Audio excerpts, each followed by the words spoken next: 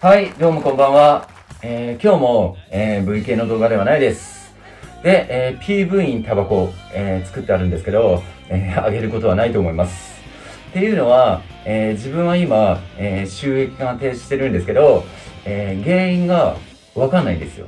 まあ、コメント欄で、えー教えてくれたんですけど、えーワクチンだったりさ、コロナ問題、コロナ関連の、えー動画が、まあ、引っかかると、まあ、原因じゃないかっていうコメントがあったんですけど、え正直なところ、えー再審査を受けてないんで、えどれが引っかかってるか、ダメなのか、ピンポイントでも教えてくれないし、まあ、わかんない状態です。まあ、自分なりに、まあ、調べたりもしてるんですけど、まあ、YouTube に上がってる動画で、まあ、お酒を飲んでるシーン、えータバコもそうなんですけど、えーダメではないと思うんですけど、まあ、あまり良くないというか、まあ、いいイメージではないっていうのを、えー耳にしたんで、えー PV にタバコは、えー上げることはないと思います。えー皆さんで、えー想像でもしてください。っていうことなんですけど、えー今日は、えーこの間言ったんですけど、えー100万円を下ろしてみたっていうことで話していこうと思います。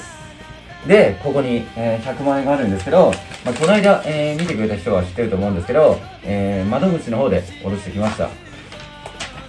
あ、大丈夫です。え位置変えたんで、もう裏にどこどこ支店って書いてあるんですけど、えー100万円になります。で、え前に話したんですけど、え窓口で、え僕印鑑必要なの知らなかったんですよ。で、通帳と、えーキャッシュカードと身分証明書。で、僕の場合は、えー免許を提出しました。で、えー受け取るのに、えー10分ぐらいで、え受け取ることができました。で、この100万円で皆さん何すると思いますか？まあ、これコメント欄にあったんですけど、えこれで、え100万円分、え鬼殺しを買ってみた。これどうですか？みたいなのあったんですけど、え面白くないと思いますよ。ここにダーって並べて、あ、鬼殺し買いましたって。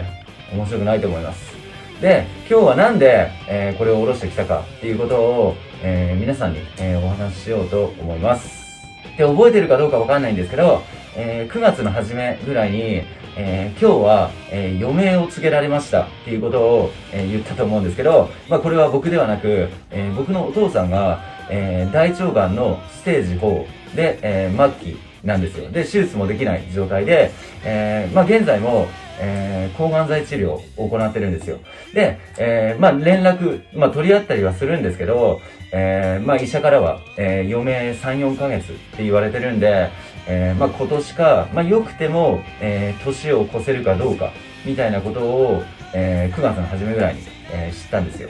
で、まだ、えーお見舞いもそうですし、えー実家の方にも帰ってないんですよ。で、え2週間ぐらい前は、えー東京も、まあ、感染者がまだ多かったと思うんですけど、ようやく、まあ、今落ち着いた状態なんですかね、えー帰ることができると思います。まあ、それが、えー11月のいつか決めてないんですけど、えー11月に、まあ、一度、えー帰ってやろうかなって思ってます。で医者に聞いたんですけど、えーそんな何時間も、えー病院にいることはできないらしいんですよ。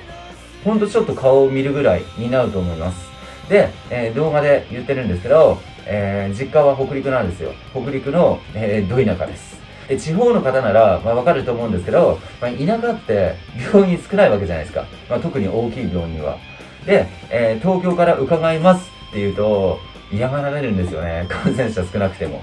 だから、まあ、30分、まあ、1時間、長くても1時間ぐらいだと思うんですけど、えー顔ぐらいは、えー見てきてやろうっていうことで、これは治療費でも何でもないんですよ。じゃあこのお金は何かって言われたら、えー皆さんの中で、えー僕のように、えー身近な人で、えー余命を告げられた、もう先長くないよ、えーもう死ぬだけだよって言われた人っていますか？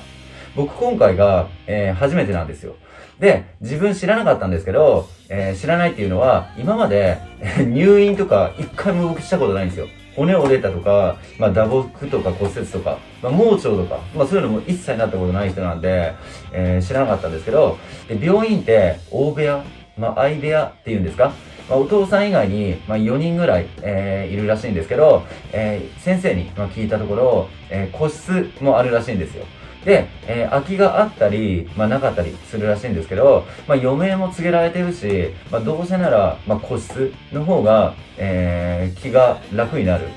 楽になるんでしょう。よくわかんないけど、なんかね、YouTube で、がん専門チャンネル的な、なんか医者がさ、えー、外科医が、えー、YouTube に上げてんだけど、まあそういうので見たりするんですけど、大腸がんのね、末期で、